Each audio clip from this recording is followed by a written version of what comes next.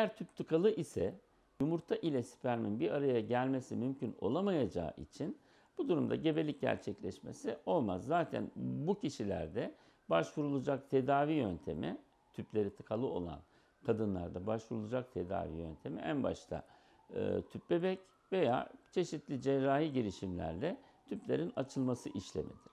Ancak son zamanlarda başarı oranının daha yüksek olması, kadın açısından daha az sorun teşkil etmesi nedeniyle tüp bebek uygulamaları tüplerle ilgili problemi olan kadınlarda tercih edilmektedir.